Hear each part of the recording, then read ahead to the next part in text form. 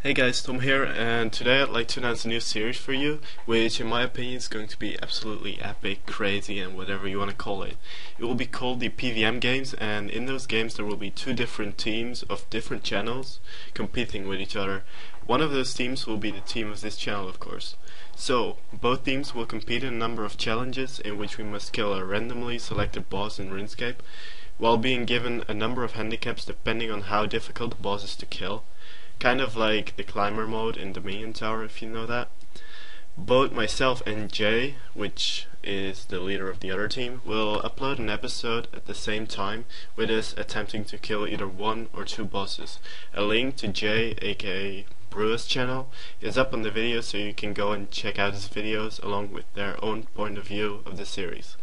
If a team manages to kill the boss, then they will gain a point which will be used as a scoring system. After 10 episodes, the team with the most points will win the series. On screen now will be an example of a fight which can occur during the games, so you can look at that while I explain the series in a bit more detail.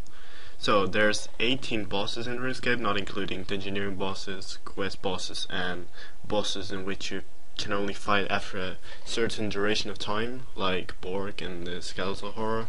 We won't do those. Uh, the bosses are put into four groups, which are groups A, B, C, and D. Group D are the bosses that have a low combat level or are simple and easy to kill. Group A will be the bosses which are the most difficult to kill. So there are four absolute newbie bosses in Group D, which are the Tormented Wraith, the Giant Mole, the King Black Dragon, and the Mithril Dragon, which should be easy if we get those. Hopefully we do. Um, there are seven bosses who are just not good enough in Group C, which are the Dagannoth Supreme, Dagannoth Prime, Dagannoth Rex, Chaos Elemental, Kalphite Queen, Tormented Demons, and Glacors. Then in Group B there are five bosses, which are Commander Zilyana, Kree'arra, K'ril Tsutsaroth, okay, that went pretty bad, and General Graardor, and also in that group is the Corporeal Beast. And lastly, we have two hardcore bosses in Group A, which are the Queen Black Dragon and Nex. Now we've been through the bosses, let me explain the handicaps which we will have to obey when fighting a boss in this series. Just like in the climber mode in Dominion Tower, we will randomly select a certain number of handicaps depending on what group the boss is in. For Group D, the newbies, we would select 4 handicaps.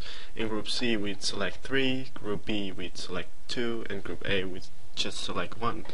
The handicaps are shown on the video for you now, some being advantages, but most are disadvantages of course, that's why they're called handicaps. Most of the handicaps don't need explaining, but I'll just go through the five which might be a bit confusing for you. Firstly, we have the handicap solo only. So instead of both members of a team going up against the boss, the duo must choose who will solo the boss without help from their partner. Then we have the handicap try again. If both teammates die, they have the option to have another attempt at killing the same boss with the same handicaps. Then we have I am a noob, um, which means that the gear and setup each player uses must all be under 100k. That's gonna be bad. Uh, then we have the handicap bring a friend, uh, which enables you to take a friend with you to trio the boss. Your friend will be immune to any handicap, so that's gonna be awesome. Then we, lastly, we have the handicap free food. A friend or substitute can drop any food on the floor for you to pick up and use. If a team gets the no food handicap as well as the free food handicap, they're not able to bring their own food, but can use the food dropped by their friend during the fight. After a team gathers one or more point, they can sacrifice a point to randomly select a new boss or handicap to fight. A team can sacrifice as many points as they want, but will want to keep as many points as possible to win the series, of course. I also want to mention that all episodes will have live commentary. Lastly, both teams will be given a substitute player, just in case one or the other's partner is not online to do the boss kill. Other than that, the series will begin next Friday and will continue for around 10 episodes. Hope you are as excited as I am. If you are, please leave a thumbs up and do not forget to check out Brua's channel.